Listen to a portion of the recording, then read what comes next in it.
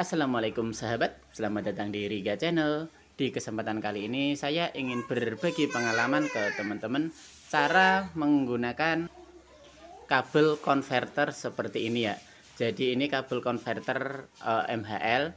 Jadi ini fungsinya untuk menyambungkan HP saya ini ke proyektor atau ke TV yang pokoknya ke layar besar untuk HP yang belum support MHL. Jadi kalau HP teman-teman sudah support MHL maka tidak perlu alat ini tapi kalau HP-nya masih kentang dan belum support MHL seperti punya saya bisa menggunakan konverter ini. Jadi ini kabel uh, cukup murah ya kemarin beli sekitar 260-an. Oke kita buka dulu dalamnya untuk isinya seperti ini.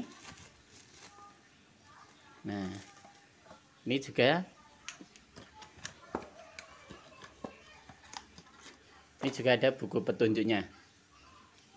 Jadi untuk menggunakan kabel seperti ini ini kalau kita lihat ini uh, colokan HDMI kita colokkan ke TV atau ke proyektornya. Kemudian yang ujungnya di sini ada dua colokan. Yang ini untuk ke power bisa menggunakan power HP atau apa cas HP yang ini untuk ke lubang HP nya kebetulan ini ada tiga ya. Jadi bisa type bisa untuk iPhone juga bisa untuk micro. Oke langsung saja kita praktekkan. Ini kita colokkan ke cas eh ke proyektor. Kemudian yang satu ini kita colokkan ke cas HP kita masukkan ke powernya. Ini proyektornya mau saya nyalakan dulu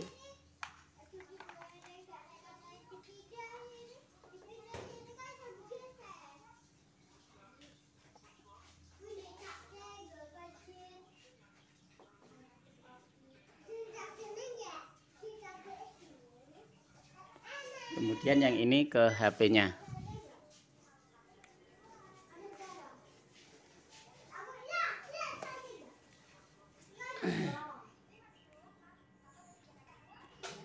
maka tampilan awalnya seperti ini. Tampilan awalnya seperti itu ya. Kemudian di HP Android saya di sini ada keterangan disuruh menginstal aplikasi mirroringnya. Ini kita bisa pelajari dulu.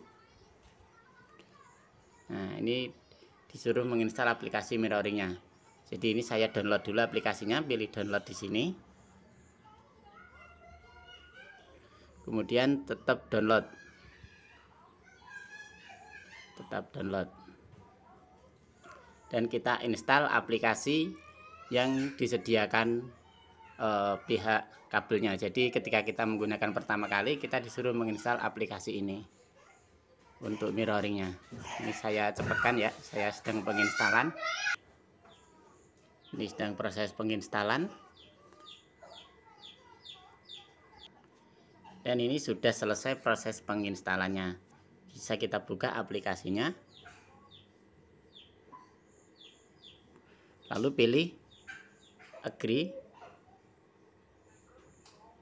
kemudian pilih izinkan. Pilih konfirmasi. Untuk menggunakan aplikasinya biar maksimal pertama kita pilih ini dulu yang bawah setting. Kemudian kita pilih setting ini.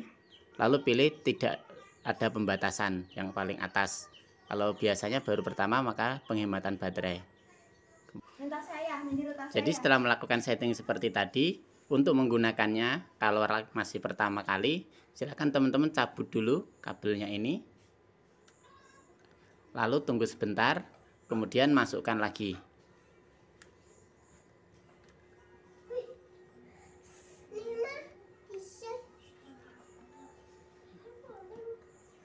Maka ada tulisan seperti ini. Teman-teman pilih oke OK.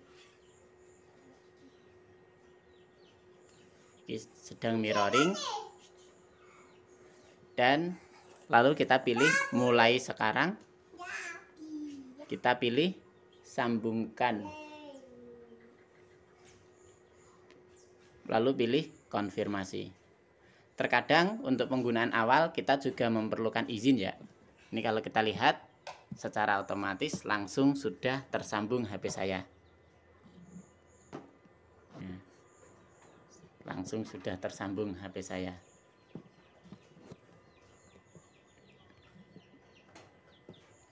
Nah biasanya untuk penggunaan pertama juga kadang dimintai izin lagi izin untuk menggunakan aplikasi. Tapi kadang juga sama seperti saya tadi langsung diminta persetujuan penyambungan. Jadi ini sudah tersambung. Jadi ini solusi apabila HP kita belum support MHL tapi ingin menyambungkan smartphone ke layar yang lebih besar ke proyektor atau ke TV kita cukup menggunakan kabel konverter HDMI ini. Jadi cukup mudah kan cara menggunakannya. Semoga bisa dipahami dan bisa di bermanfaat. Dan kalau teman-teman ingin menonaktifkannya cukup langsung dicabut kabelnya juga nggak apa-apa. Oke assalamualaikum salam riga channel